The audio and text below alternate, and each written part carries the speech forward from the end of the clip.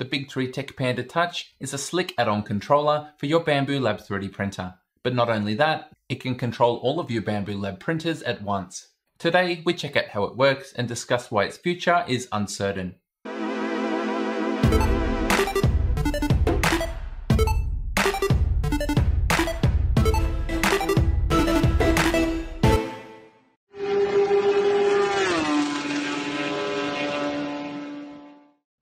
There's a growing market of Bambu Lab 3D printer upgrades and accessories from third parties. Previously, I covered the X-Touch, an inexpensive community control interface for Bambu Lab machines. The Panda Touch is a similar product, significantly more expensive, but with worthwhile extra functionality. Let's delve into the details.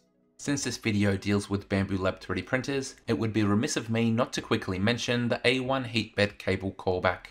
In short, a small amount of A1s have a problem with the heat bed cable, and if you own one of those printers, please stop printing, follow the link to this blog post, scroll down and see the options available. Then follow the link to the registration page to input your preference. It's very frustrating, but after some delays as I gathered information, I feel Bambu Lab is at least doing the right thing.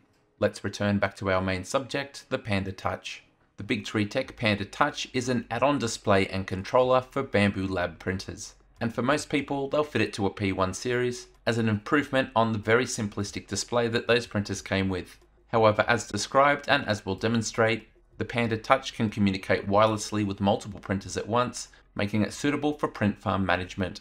The current price is $59 and that's a pre-order with units being delivered in late March. Besides the official store, there's also the Big Tree Tech official store on AliExpress which has the same price. Probably the main selling point of the Panda Touch is the fast setup and then the slick interface which greatly resembles that of Bambu Lab machines. There's a range of other features and we will explore them throughout this video, including some concerns over the longevity of the Panda Touch.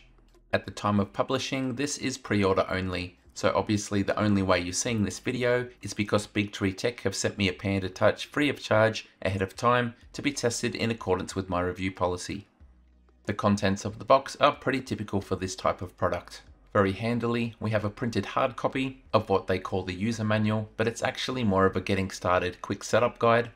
We've got the actual Panda Touch and its base stock connected together magnetically. The touchscreen is 5 inch and everything's injection molded. We also get a small Big Tree Tech sticker, and inside the smaller box, a USB A to C power cable, a metal mounting bracket, an Allen key, some M3 hardware, and the Big Tree Tech rubber ducky. So far so good, so let's proceed with install setup and a tour. Before we proceed, beyond the quick start instructions that come printed with the kit, it's worth mentioning that there's a much more comprehensive manual available online and I've linked that in the video description. Physical installation is extremely fast. We take our metal bracket, we remove the dock from the back of the Panda Touch, we align the metal bracket with the holes and cutout on the back, and use the included countersunk M3 bolts to attach the two together. We now peel off the backing from the sticker on the bottom, ensure our mounting location is clean and dry, and then carefully stick down the bracket in line with the default display on the P1 series. Ultimately, you could stick this base on any other surface or printer, but I would consider this to be the typical install. Finally, we need to connect the USB-C input on the base to a 5V power source. And the P1 series thankfully has a USB port set up for just this. Built into the top of the printer, there's also some little clips to assist with cable management and to keep everything tidy. And if you have a P1S or an enclosure, the cable is meant to be long enough to reach to the hole in the corner of the printer. At this point, you can optionally probe with a multimeter to test if you have 5 volts going to the docking pins. We can now switch the power on on the back of the Panda Touch to 5 volts DC and then place the display in the dock where it will be immediately powered up and enter the setup phase. This is really straightforward and starts with you selecting your Wi-Fi network and then inputting your password. You're now prompted to connect the Panda Touch to your first Bambu Lab printer and I'm going to do the P1P that it's mounted on. There's a minimum of four fields that need to be filled in. The first is a name and you can set this to whatever you want. The other three are found in the printer's interface, and there's a guide to tell you which menu section to go to for each. When you're done, you can come back to the Home tab and we get an interface not too dissimilar from the X1 series touchscreen. It's clear that the Panda Touch interface is designed to have a Bambu Lab feel. Let's tour the interface. On the main screen, we have temperature readouts and basic controls for things like the light. And if there's a print underway or recently finished, we'll have the status for that too. On the next screen, we have more information, plus manual controls for homing and filament extrusion. We also have a filament sub-tab, and here I only have an external spool connected, so we get that information, but if you were to connect an AMS, we get the exact same interface as an X1 carbon, allowing us to see what's loaded up, as well as altering material types and colors where necessary. Also from this screen, we have manual control of all of the fans, including the part cooling, auxiliary, and a chamber fan if you have it connected. And of course, we can manually set the temperatures for both the hot end and bed. And for me, the stock controls for the P1 are terrible here, so I appreciate this aspect the most. The next tab is for selecting files to print. The default is a list of all of the files previously uploaded to the machine, and we have a USB flash drive option, more on that later on. Next we have settings and network, and the most important thing here is going to be auto sleep for most people. I went for 2 minutes, and after this the screen will go dark, and tapping it will turn it back on. The final tab we will explore shortly. So far, we can do everything the X-Touch can, but with an X1 series aesthetic and feel. So now let's extend the extra functionality. As I mentioned earlier, the Panda Touch is also good for print farm management. So let's come down to the last tab and add another printer from our network. We have all of the same inputs as before, including the ability to choose the icon that we want, but this time instead of doing it manually, we're going to tap scan. And after around 20 seconds, all of the Bambu Lab printers from our local network will be listed, and adding them is as simple as tapping the image, then pressing confirm, and all of the details will be filled in apart from the access code which you can now enter manually. After you've done this, your printer will appear on the home screen and you'll be able to see the status for both. We can of course add more than one printer, although it's a little bit choppy when you scroll between them on the home screen. The control scheme for multiple printers is something I didn't find that intuitive. I expected to be able to tap on one to select it, so when I then switched to manual control, I could do whatever I wanted with that particular machine. But that's not at all how it works, so let me explain how it actually functions.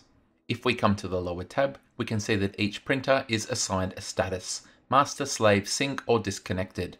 For the printer set as master, that's the one that all of the manual controls will work for.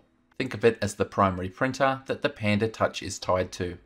For all of the printers set to sync mode, and there can be multiples, their status and information will be displayed on the home tab you won't be able to control them, but you will have a rough idea of what's going on. At any time, you can come to the last tab and change which of your printers is set to master. It will be then listed in the first position on the home tab and any manual controls you input will be sent to it and not the other printers. In my opinion, this method for switching between which printer is controlled is a little bit clunky, but according to the online manual, it will be addressed in a future firmware update. Probably the most interesting option here for those that run print farms is the slave mode, which will synchronize the commands sent between the master printer and it. I can demonstrate this by coming to the manual controls and then pressing home, and we can see that with that single button press, both machines go through their homing sequence. In a print farm, this could be pretty handy, for instance heating up a whole range of printers in one go, ready to load up a matching material for a batch run. But for most people, they're going to have one printer on master, the others on sync, and change between them to manually control one printer at a time. The final mode you can set a printer to is disconnected. When you do this, it will still appear on the lower tab, but when you come to the home tab up the top, it will no longer be listed. Probably a good option if you've got a printer offline for maintenance, you don't want to see it on this list, but you also don't want to delete it and have to input all of the details again. Previously, we switched the Panda Touch to 5 volts, but we can unlock much more functionality if we instead flick it to the battery icon. Using its internal lithium battery, the Panda Touch will continue to operate as before even when it's disconnected from the dock. Runtime is approximately 30 minutes, and when you put it back on the dock, the internal battery will be recharged, although there's no battery status or icon, so I've suggested this for a future firmware update. Remember, there's nothing to stop you from printing a base for the dock and keeping the Panda Touch in your office instead of mounted to the printer. As long as everything's on the same local network, you can monitor all of your Bambu Lab printers, know when the jobs are finished and when they need attention. And for 30 minutes at a time, you can do this undocked as you move around your print farm or makerspace. Finally, starting a print job, which is something the X-Touch interface lacks. The first thing to know is you can slice and send prints wirelessly to the printer from Bambu Studio or Orca Slicer exactly the same as you always have before. Also unaffected is starting and monitoring prints from the Bambu Handy app. All of these systems are independent to each other. The print tab of the Panda Touch will display all of the files on the SD card of the master printer. However, when we tap on one of these jobs, we have the option to toggle which printers it's sent to. So that means if the filaments were compatible, you could run the same G-code on multiple printers at the same time. Here I'm just leaving a single printer ticked and then coming over and tapping the print button in the corner. You'll then get a generic warning getting you to check that you have the right printer as well as the right filament loaded and after that the print job will start as usual.